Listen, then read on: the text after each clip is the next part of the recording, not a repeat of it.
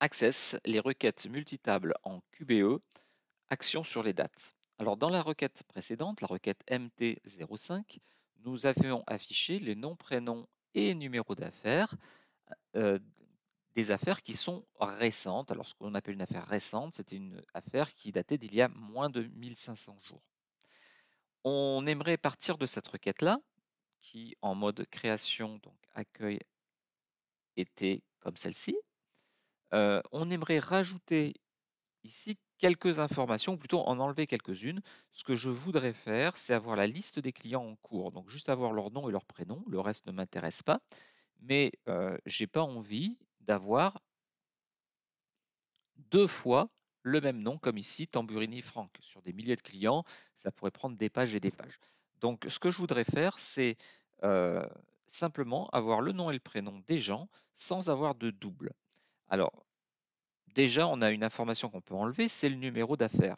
Parce que là, je ne suis pas avec des doubles, puisqu'on a bien deux fois Tamburini, mais on a des numéros d'affaires qui sont différents. Donc, avec des numéros d'affaires différents, on n'a pas de double. Donc, déjà, on peut supprimer ce numéro d'affaires. Mais ça ne change pas grand-chose. je vais l'enregistrer tout de suite, ma requête, parce que sinon, je vais lui donner l'ancien nom. Donc, fichier enregistré sous. Et là, je vais enregistrer l'objet sous.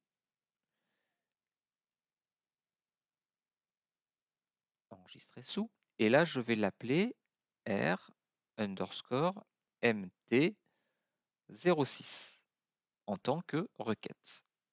OK. Voilà. Donc là, donc j'ai ma nouvelle RMT06 où il y a le nom, le prénom et la date de l'affaire. Alors, le euh, problème que j'ai avec euh, la date, c'est que si je le supprime, je n'aurai plus que les affaires récentes, puisque la condition d'affichage, c'est d'être supérieur ou égal à date moins 1500. Alors ce qu'on va faire, c'est qu'on va utiliser ce champ, mais on ne va pas, pas l'afficher. Donc on va décocher la case affichée. Maintenant, quand je regarde le résultat, j'ai vraiment des doublons, c'est-à-dire que j'ai deux fois Tamburini, Franck. Et il y a un certain nombre de vidéos, nous avions vu comment enlever les doubles il s'agissait de modifier les valeurs d'une propriété. C'est-à-dire que ici, dans la feuille des propriétés, donc si vous n'avez pas la feuille des propriétés, eh bien, dans le menu Créer qui est à droite, on clique sur Feuille de propriété, c'est un bouton bascule qui affiche ou masque ce tableau de données-là. Et si on regarde la quatrième ou cinquième euh, valeur, propriété, on a valeur distincte non. Si on met valeur distincte oui, toutes les valeurs seront distinctes les unes des autres, c'est-à-dire que l'on va enlever les doublons. Si j'affiche le résultat, je m'aperçois que Tamburini maintenant n'est présent qu'une seule fois. J'ai donc bien la liste de mes clients qui ont passé une affaire récente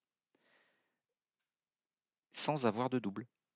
Voilà, j'espère que cette petite vidéo vous aura plu. N'hésitez pas à la liker si c'est le cas et à vous abonner à la chaîne si vous n'avez pas encore fait enregistrez bien cette requête sous le nom de R underscore MT06 si vous voulez avoir la même progression que ce que j'ai dans cette vidéo.